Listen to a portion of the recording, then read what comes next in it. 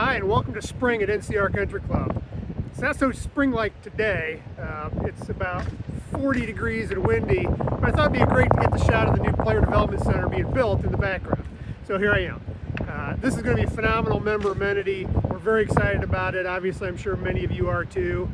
Um, you can see we're finally starting to see some vertical structure, which is great. So over the course of the next couple months, that'll be completed, and we really look forward to rolling that out for you. Along those lines, the practice facilities are scheduled to open on April 1st, this Friday, April 1st. Uh, the regular practice tee, which I'm standing on, is coming in great.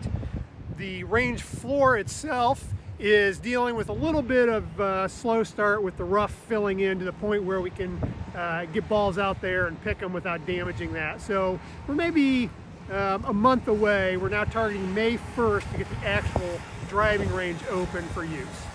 In the meantime, we'll reopen the key also on Friday, April 1st. Uh, same usage as we had last year as a short range practice facility.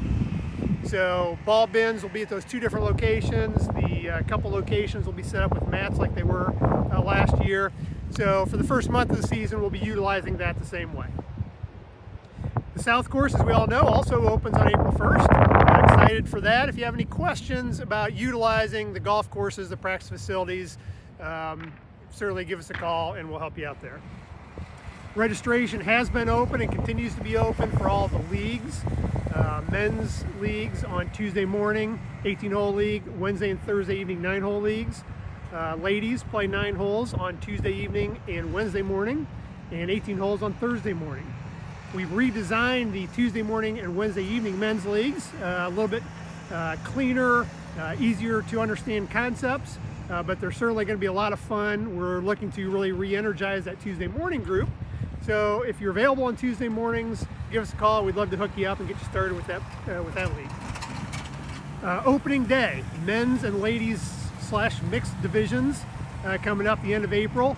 Uh, that's they'll utilize both the north and the south course. Make sure you sign up with that. You can sign up with your own group, or you can sign up, excuse me, as a single, and we'll pair you with a group. Finally, the last thing for today, um, Titleist and Callaway now unfortunately have discontinued their uh, loyalty rewarded program, the buy three get one free personalized program. And the reason for that, the reason for that is just a lack of uh, volume. They don't have the ability to get that many golf balls through their plants right now because of supply and employment issues. So what we've done here, we started a Titleist Pro V1 club. And details of that are available uh, somewhere else here in the Golf Around the Cache. But the gist of it is uh, you can commit to buying six dozen Pro V1s. You'll get free personalization on them and we'll have them automatically shipped one dozen per month throughout this summer. Uh, that'll go on until you cancel it uh, for next year. So it'll be six six months. Then we'll get in the off season. This off season, you can either cancel, get out of it for next year, or you can change what you want personally. Uh, but that'll just keep going forward. So pricing of the balls will be the same as you bought them in the shop, uh, but we'll have your free personalization on them, and you'll always have them available to you.